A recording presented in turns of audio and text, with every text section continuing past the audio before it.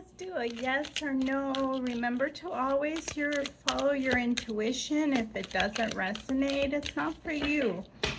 It's not for you. Your your intuition and your guidance is superior to anything. Okay? Let's see. We have a yes. This decision will bring a lot of balance or this question that you have. It will bring some healing um, some